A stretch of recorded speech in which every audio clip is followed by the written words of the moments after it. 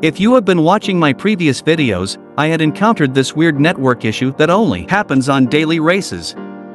Whenever I joined a daily race, I get disconnected both in the lobby and in the race, and because of that, I got dropped all the way to rank E with SR rating of D.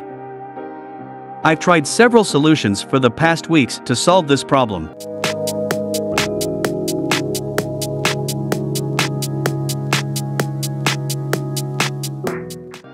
Solution number 1. Restarting the router. Unfortunately this quick and straightforward solution did not work for me. I continued dropping in daily races. Keep in mind I do have a network speed of 300 plus megabyte per second, and I'm plugged into either the wall or on my 5G network. My router is approximately 7 to 8 feet away from my PS5. Solution number 2. Changing DNS.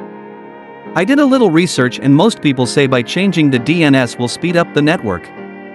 I tried quite a few of different DNS address, even though it did speed up the internet speed for some of the DNS including Google's DNS, but I'm still disconnecting in the middle of the races.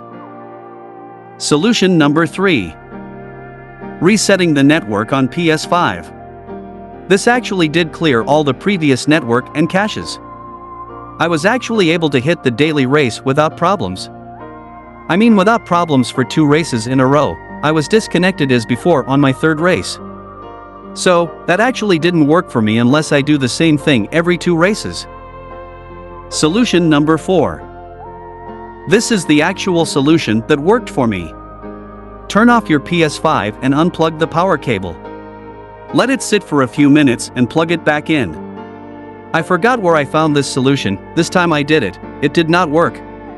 Just like the previous solution, on my third daily race, I would be disconnected.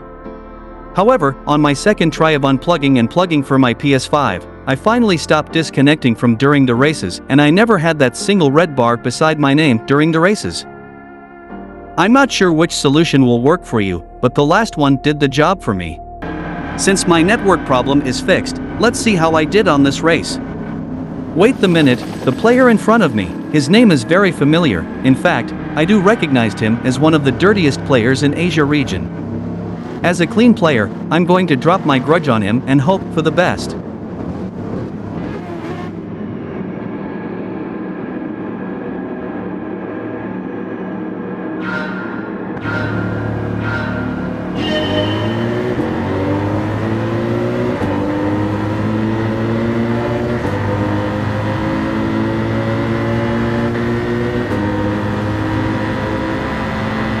As we approached to this very first tight S-curve, he braked too late and I found my chance to pass him. As we all expected what a dirty jerk would do. Let's watch an instant replay. First hit. And a second hit to make sure I'm out of the racetrack. What an idiot. Well, I'm going to shut up and let you enjoy the race. I'm going to admit, I'm being very aggressive after this, in fact I was quite pissed turning from first place into 14th.